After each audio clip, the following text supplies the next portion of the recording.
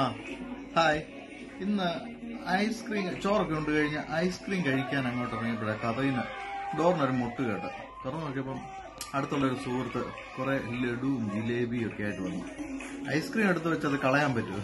അപ്പൊ ഞാൻ ഐസ്ക്രീമിനകത്തോട്ട് ജിലേബി അങ്ങോട്ട് ഇട്ടിട്ട് കഴിക്കാൻ പോകും എങ്ങനെയുണ്ട് അതിന്റെ ടേസ്റ്റ് എന്ന് അറിയത്തില്ല.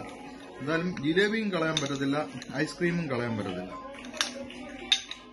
അപ്പൊ അതിങ്ങനെ